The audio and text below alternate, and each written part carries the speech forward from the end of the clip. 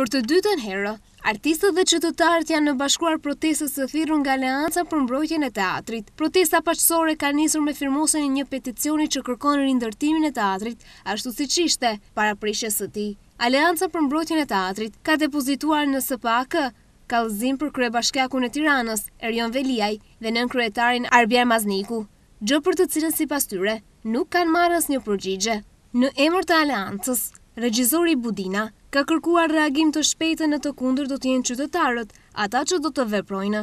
Artistët kanë protestuar për më shumë se dy vjet për të mos lejuar prishjen e godinës së Teatrit Kombëtar Protestat e tyre rinisën pas shembjes së godinës më shtatëmbëdhjetë maj. Ata kanë paralajmëruar se protestat nuk do të ndalen deri në rindërtimin e godinës së re me të njëjtin projekt siç ishte godina e vjetër.